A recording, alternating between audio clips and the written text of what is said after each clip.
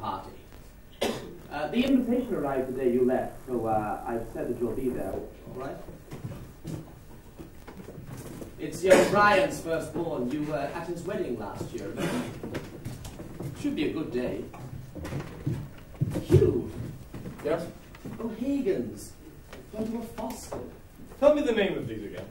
Broom. Broom, that's it. Uh, the Latin name is Genista. Uh, Virgil writes about it somewhere. Does he really? Uh, actually, that Genista comes from Spain. Good Lord, does it? Spanish broom. Magnificent name, isn't it? Give them plenty of water. Magnificent colour, isn't it? A letter from the Lord Deputy. They really transform the room, Harry. Splendid idea of yours, thank you. A letter from the Lord Deputy vigorously urging you to have your eldest son attend at the newly established College of the Most Holy and Undivided Trinity in Dublin, established by Her Most Serene Highness Queen Elizabeth. that vigorously urging sounds ominous, doesn't it? Sorry? Sir William Fitzwilliam would like to have you send, send Hugh to the newly established Trinity College in Dublin. I'm told that he's having all the big Gaelic families send their children there. he would like an early response. This jacket, Harry, what do you think? It's not a little too excessive, is it? Excessive. You know, a little too... too strident. Strident. All right, damn it, too bloody young. It's very becoming, Hugh. Do you think so? Maybe I should have gone to maroon. A reminder that the Royal uh, Festival of Harpers takes place next month in Roscommon. They've moved the venue from Turuski. Uh, as patron of the festival, they would be most honoured if you would open the event with a... sh- Yes, Spanish broom. really. They need plenty of water. A bit of trouble here, I'm afraid. O'Kane of Limavady says he can't pay the tribute until the harvest is saved. But in the meantime, he will send 10 firkins of butter and 20 casks of beer. As usual, he's lying. It might be an idea to bill a 20 extra gallowglass on him for the next quarter. That'd keep him in line. Um, Sir Garrett Moore would like you to come down to Mellifont Abbey next week for a spot of fishing on the Boyne. He says it's the best salmon season they've ever had. Uh, the Lord Chancellor will be there and uh, Sir Robert Gardiner. You knew him when you were in England, didn't you? Who's that? Sir Robert Gardiner, the Lord Chief Justice. Oh, that was 25 years ago. I haven't seen him since. It might be worth renewing that friendship now Uh, just to show him I haven't reverted completely to type, would that be it? for political reasons. We'll see. Oh, have the, uh, the musicians arrived yet? Yes. And the rhymers and the acrobats? I've told you everything's ready. And you're sure nobody's heard a whisper? I told them you're at the meeting of the council in Dublin. Everything's in hand. Good. Bit more trouble here. the Quins and the Devlins are at each other's throats again. the Quins raided the Devlins' land three times last week, killed five women and two children, stole cattle and horses, and burnt every hayfield in sight. Uh, the Devlins remind you, once more they say, that they have a right to expect protection from their chieftain, and that if they ca- cannot rely on Hugh O'Neill for their safety and justice, then under the Brehon law, then they will have to seek protection under the new English law, and they will too. I know what I'll do, Harry. This is a squabble that needs to be sorted out quickly. I'll make the room upstairs into our bedroom. And I'll shift that consignment of Spanish saddles down to the back room. They should be closer to the stables anyway. Well, the room upstairs faces south, and there's a good view down to the river. Yeah, yeah that, that's a good decision, don't you agree? Why not? Excellent. So it's a bit of bad news from London. Lord Essex has been arrested and thrown in the Tower. What for? There's a list of charges. One of them is treason. It. For conferring secretly with the basest and vilest traitor that ever lived, Hugh O'Neill, in a manner most disloyal to Her Majesty Queen Elizabeth. He was fond of you. I was fond of him, despite everything.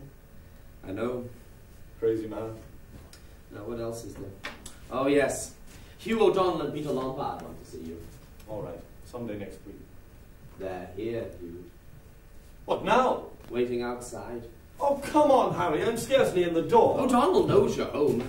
And Lombard has been here for four days already waiting for you. He's done an enormous amount of work. That's only half of his file. All right, I'll give them 10 minutes and that's all.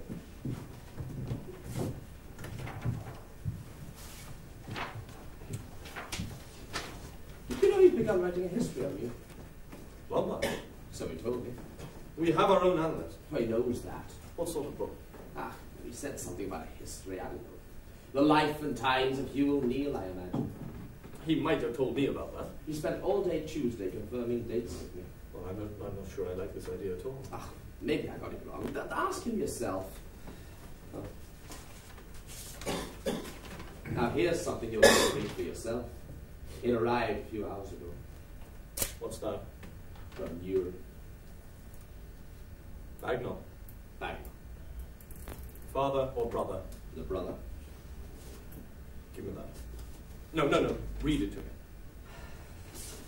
to me. From Sir Henry Bagnall, Queen's Marshal, Newry, to Hugh O'Neill, Earl of Tyrone, Dungannon. It's, it's just a catalogue of accusation and personal abuse. Your first marriage wasn't properly dissolved, so your second marriage was ambiguous. And now, of course, this third. Bastard! Is threatening to ha- have a charge of abduction taken against you What's he talking about? because she's under 21. Abduction! He's threatening to come and have her taken by force. She's not exactly Helen of Troy, for Christ's sake. What's that? We got our hands on a letter that he sent to the Queen. I am ashamed and deeply humiliated that my blood, which myself and my father have so often shed for the repression of this rebellious race, should now be mingled with so treacherous a stock. My blood. It, you mongrel. He's going to be troublesome, Hugh. Ignore him.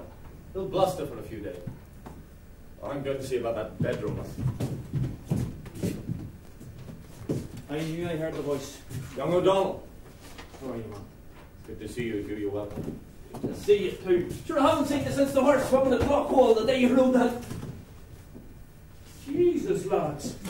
And what about that? Is that not a sight for sore eyes? Do you like it? I bet you that's a London job. Oh, of course. And the smell of perfume off him. Peter, How are you, Hugh? you're welcome back to Dungannon. Thank you. Sure, me poor sister's not seven months dead. And I bet you the bugger's on the prowl already. Am I right? Gifts for you, Hugh, from the Pope. And what's all this? A birdcage and a golden candelabra. What effort craftsmanship there? Mm, lovely indeed, beautiful. He sent me a present too. Guess what I got? A papal blessing. Uh, with his warmest good wishes. I'm not being paid off, Alan. He's behind you, sadly. He always is, but no mind. These things take time, Hugh. I have a letter here from him for you. Let's see about the room. So you're just back from Rome, Peter? Home a week last Sunday. I came via Spain. I have a lot to report. Good. Will you sit here? Thank you. Help ourselves here too. Yes, of course. Sorry, Peter. Not for me, thanks. Now, I have copies everyone. Do you know the floor in that wall out there is going to cave in with dry rot? This is all the recent correspondence with Spain. Our case to Philip II, including his last reply, which you have not seen yet. We had dry rot in the house in Ballyshannon. My mother had to tear out every piece of timber in the place. And this, this is a resume of my commentaries. A thesis I'm doing on the Irish situation. Basically, my argument is. Because of her mismanagement, England has forfeited the right of domination over this country. The Irish chieftains have been forced to take up arms in defence of their religion. You, by virtue of your birth, education, and personal attributes, are the most likely leader of that revolt. I'll go into more detail later. Do you know what my mother did? She went out and got Okafu's Armada racks flying around the coast and replaced every floor and window in the house. It's a terrific job. You could gallop a horse across that floor. you should do the same thing here, Hugh. And I hear you're writing our history, Peter. Ah, Harry's been talking. Have you begun? No, just checking some events and dates. And when your checking is done? I suppose I should try to arrange it into some kind of order eventually. And interpret what you've gathered, Not interpret you, just describe. without comment. I shall tell the story of what I saw and took part in as accurately as I can. But you'll tell the truth. I'm no historian, Hugh. I'm not so sure enough what the historian's function is, not to talk of his method. But you'll tell the truth. If you're asking me, will my story be as accurate as possible? Yes, I think so. But truth and falsity, I'm not so sure they are the proper criteria. I suppose when the time comes, my responsibility will be to tell the best possible narrative. After all, isn't that what history is itself? A kind of storytelling. Is it? Imposing a pattern on events that were often casual and haphazard, and shaping them into a narrative that is both logical and interesting. Yes, I think so. And where does the truth come into all this? I'm not so sure that truth is a primary ingredient. Is that a shocking thing to say? But I suppose when the time comes, imagination will be as important as information. But one thing I will promise you, Hugh, nothing will be written down for years and years to come. History has to be made before it's remade. That's being looked after. Good. Now, let's make this short and brisk, shall we? What's on the agenda? Hugh has information that the English are building new fortifications. You know what the hers are at? They're going to build a line of forts right across the country, from Dundalk over to Sligo. That will cut us off from the south. The second stage is to build a huge fort at Derry, so that you and I will be cut off from one another. Then when Donegal and Tyrone are isolated, then the plan to move in against each of us. And the Archbishop has news of help from Spain. I have letters of both the king. But their first move is to strengthen the forts they already have. Bagnall's place at Newry, Armagh and the Blackwater. I have spent a lot of time in Madrid recently, Hugh, and I can tell you, Europe is looking more and more to us as the ideal springboard for the Counter-Reformation. And another thing I want to talk about, the shit O'Doherty up in Inishowen. Do you know what the way gets that you? Nipping down as far as Killybegs, stealing our sheep and shipping them off to France. Running a bloody big export business. With my sheep. The initial shock of the Reformation is now over. Catholic Europe is gathering itself together for a counter-Reformation, and the feeling is that culturally, geographically, and with some military assistance, we could be the ideal springboard for the counter-attack. I could go in today and snatch the bastard and chop his head off. sure, if I do that, all Inishowen's up in arms. And already I have O'Rourke of West Breffni threatening the quarter me.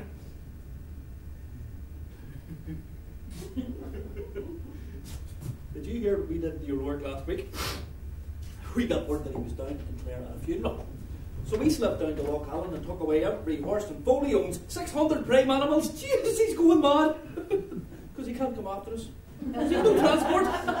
You won't do that. Uh, let's begin with the Archbishop, shall we? Oh, You'll help me against this shit O'Doherty now, won't you? Because if I do nothing, the bugger will think he has me beat. Uh, you sit there. Damn it. Maybe you could poison him. The very job. Send him a peace offering. A cask of Bordeaux oh, special. Three months ago, you wrote again, Better still, you send him the Bordeaux oh, special. He'll never suspect you. Look, I got a jar of this deadly stuff from Genoa last week. One drop in your glass. Go ahead, Peter. Thank you. Three months ago, you wrote again, All the same now, that jacket takes years off him, doesn't it now? Come on, come on. If I may, You'd never think he was 41, would you? Only 42. Peter? Three months ago, you wrote again to Philip II of Spain asking for Spanish arms and money. You had a copy dated August the 3rd. I have no copy. The final sentence reads, With such aid we hope to restore the faith of the Church and to secure your kingdom. I never agreed with any of that stuff about securing a kingdom. I brought back his reply, the document dated May 14th. I've been informed that you're defending the Catholic cause against the English. That this is acceptable to God is proved by the civil victories you have earned. Not against the civil Doherty. I hope you will continue to prosper, and you need not doubt I will render you any assistance you may require. Now, after all these years, I think I have a very good idea how the Spanish court thinks.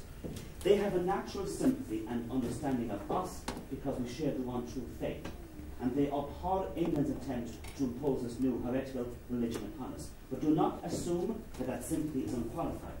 Their interest in us is both practical and political. I've had a series of meetings with the Duke of Lerma recently. Whoever he is. He determines our foreign policy. And every time I meet him, he says the same thing to me. Spain will help you only if you are of any use to us. But when I look at you, what do I see? A small island situated to the west of our enemy, England. A tiny portion of that island, the area around Dublin, under English rule. Small pockets of old English families scattered throughout the country, but by far the greater portion of that island under Gaelic rule ruled by Gaelic chieftains. constantly at war. Occasionally with the English, but always, always among themselves. And how can warring and fragmented tribes be of any use to us? Constantly at war. Jesus, I haven't an enemy in the world. But what Lerma is really saying to us is this, Hugh. If we can forge ourselves into a cohesive unit, then we can go back to him and say, we're not warring, we're not fragmented, we are a united people. Now. Now, at this point, I'd like to return to my commentarius. It's the document with the blue cover.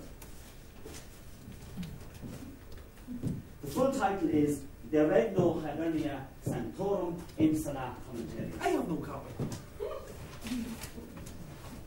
Sorry. My thesis is this.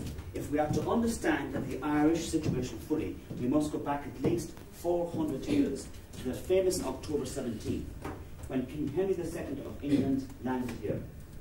He had in his hand a copy of Pope Henry's bull Laudabiliter, making him Dominus Hibernia, Whatever that means. King of Ireland. And that bull had two consequences. The first was to I got Ireland- married last night. What? I got married last night. You're a liar. You're a liar! But you bugger, you never did. Yes. God almighty. You said he was in Dublin at a meeting of the council. He was in Dublin. Jesus God almighty, the bloody jacket, didn't I tell you the tail was high? You kept that very quiet, you. You too, you bugger you. I have it, the big redhead you had here all last month, that Scotswoman, Annie MacDonald. No. Congratulations. Thank you, Peter. I know, I know, Brian McSwiney's on her, the fan of whippet. What's her real name? Uh, Cecilia? God, no, not Cecilia. Oh, Who then? Come on, man, tell us. Did you say last night? In fact, at two o'clock this morning, we eloped. We eloped, sweet Jesus God Almighty, we eloped. well, lay me down and bury me this, her eloped. Congratulations, man. Tell us, who is the new countess then, Hugh? Oh, I hope I still have the same appetite for it when I'm your age, boy. Neither of you knows her. She's from Newry. McGinnis, Siobhan McGinnis. No, she. The other sister then, the one with the teeth. Maeve. I met her only a few months ago on her 20th birthday. She's only 20. She's one of the new English. Her grandfather came over here from Newcastle under Lyme in Staffordshire. He was given the Cistercian monastery and lands around Newry and Carlingford. That's what brought them over. One night. Quit that brilliant you. Tell us her real name. Her name is Mabel Bagnall. She is the daughter of the retired Queen's Marshal. She is the sister of Sir Henry Bagnall, the present Queen's Marshal. Anybody for more wine?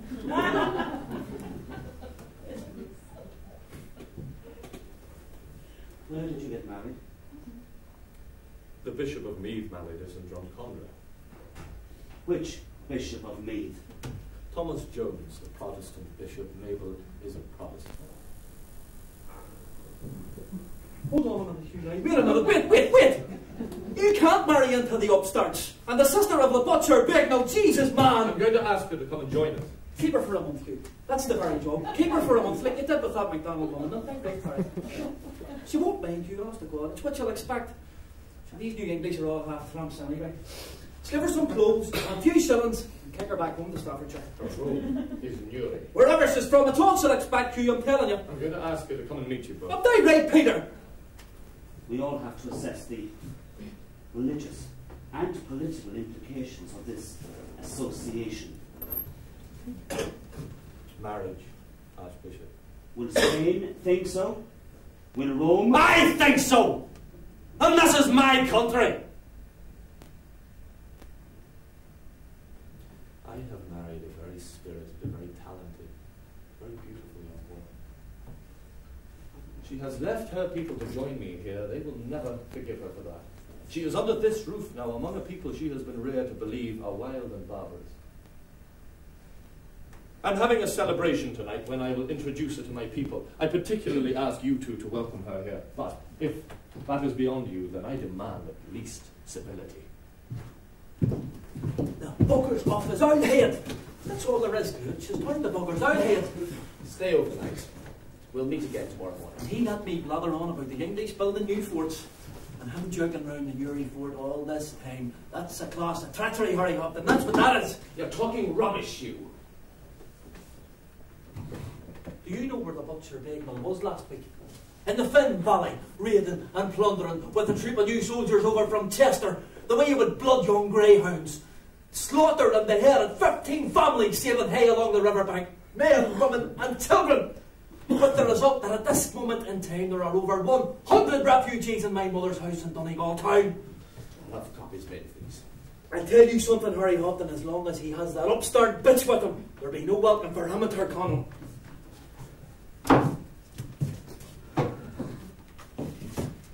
At least wait and meet her, Peter. For his sake. Here we are.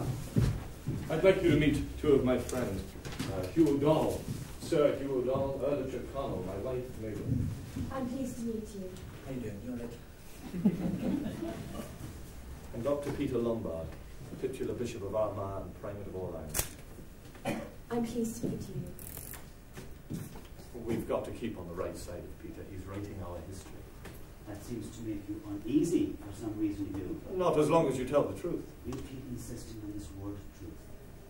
Don't you believe in the truth, Archbishop? I don't believe that given the period of history, given the space of time, my life, your life, contains within it one true interpretation waiting to be mine. But I do believe it may contain several possible narratives. The life of Hugh O'Neill can be told in many different ways, and those ways are determined by different needs and different views. What do they want to hear? How do they want it told? So, I'm not altogether my own man here. I simply fulfill expectations.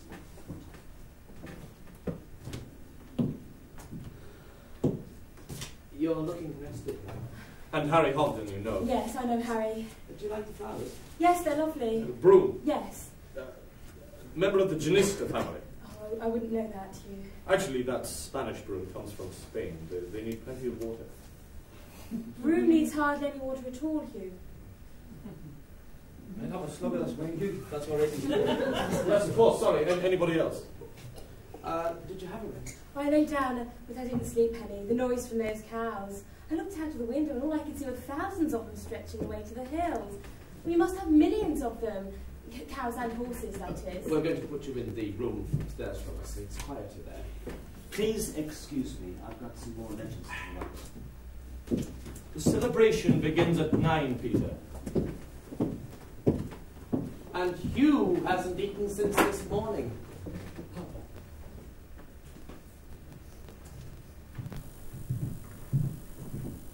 We'll join you later. Put your arm around me. I'm all over. I want you now. I'm between two friends, you said. Now. Now. You should have warned me, Hugh. I want to devour you. I'm in pieces, so I am. Hugh O'Donnell and a popish priest in a couple of minutes. Did you not see my hand? It was shaking. Let's go upstairs. Our Henry calls him the butcher O'Donnell. He says he strangles lambs with his bare hands. Well, that's true. Oh, true. are you serious? Yes, and he eats them raw. Oh, God, you're not serious. Yes, we all do that here. Stop it, Hugh.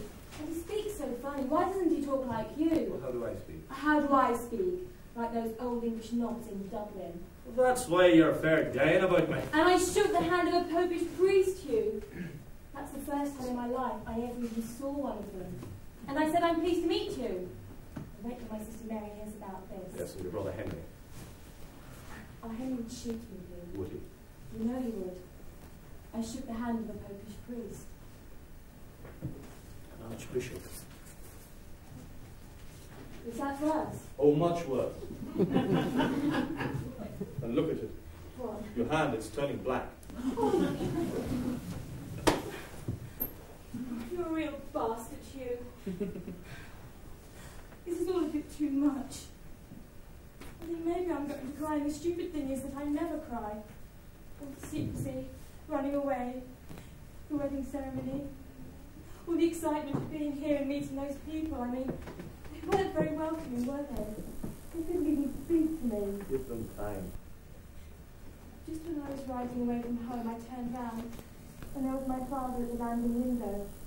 He smiled away. He had no idea I was running away. I'll never understand why I did it. Now, he is a good man, and he's a fair-minded man, and he will try. But it will never make sense to him. He's going to be cold and hurt for the rest of his days. I'm all right. I'm just a little bit confused and a little bit nervous. I knew things would be different here, but I didn't expect them to be quite so foreign. I'm only 50 miles from home here, but I feel so far away from everything I know. Give me your hand. It's all right, it's not black. You're a tough breed, the upstart, you know. I have a present for you. Yes. It's a new invention. It's, it's a timepiece you carry around with you. It's called a watch. a watch. You wear it on your finger just like a ring. Where did you get that thing? I had it made for you specially in London. The only other person I know who has one is Queen Elizabeth. Oh, Hugh, it's beautiful. And Elizabeth wears it on that finger. The Queen has one, and I have the only other one. Queen Elizabeth and Countess Mabel. Why not? Why not indeed? It really is beautiful, Hugh. Thank you. Thank you very much. I'm sorry. I'll never cry like that again, I promise. Never again, ever. Because we're a tough breed, the O'Neills.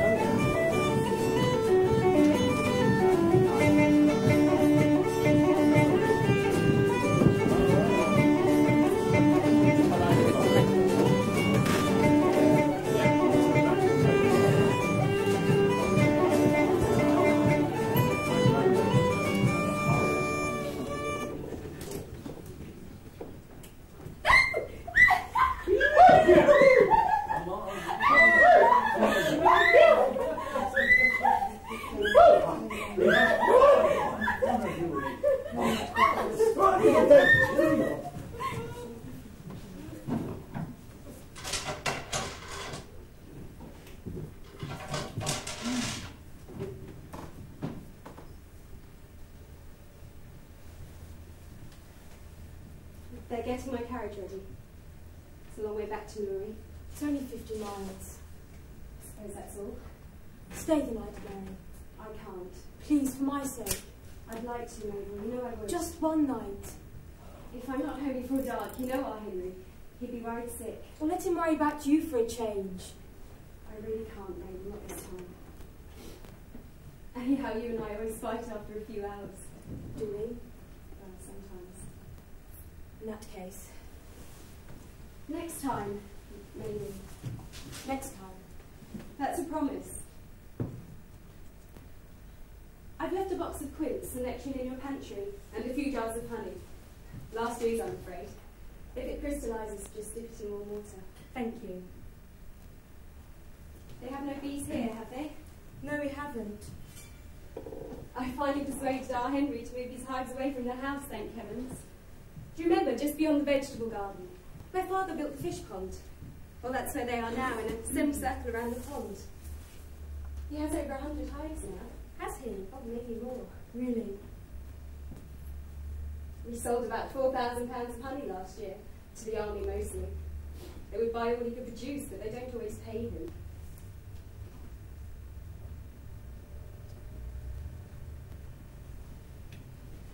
And do you remember boglands away to the left of the pond?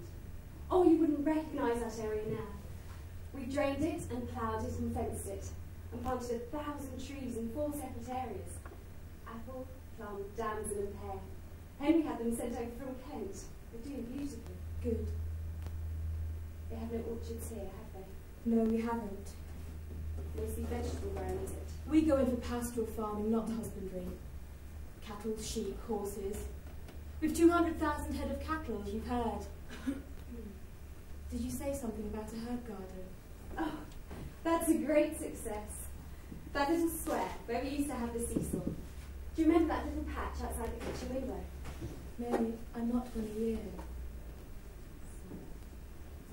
I brought you some seeds. I've labelled them for you. Dill, borage, fennel, lovage, tarragon and coriander.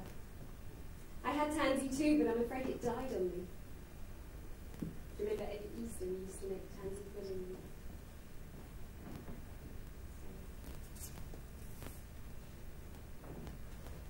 Don't plant the in the dill, the two will cross-fertilise. Is that bad? You'll end up with a seed that's either one thing or the other. Borage likes the sun, but it will survive wherever you plant it. It's very tough. I should have some valerian later on in the year. It's interesting. Are you still a bad sleeper? Was father conscious at the end? Father. Conscious. What died to him? Leaving personal messages for everyone. Messages? And detailed instructions about everything. the west door of the fort needs new hinges. The last consignment of muskets have defected hammers. They depend totally on London because they really don't understand the difficult job we're doing here. Personal messages? You forgot nobody. I'm to take up bookbinding if you don't mind. Our Henry spends too much time at paperwork and not enough at soldiering. Old Tom the gardener should rub beeswax into his arthritic joints. Give a new Bible to the two maids from Tandragee. Half an hour before he died, he was asking what price we were getting for our eggs. Wonderful, wasn't it? Yes. I miss him terribly, Mabel. I know he had a hard life, but it was a very full life. You forget that almost single-handedly he tamed the whole of County Down and County Armagh and brought order and prosperity to them. God blessed his great endeavours, and that was a great consolation to him in the end, to all of us.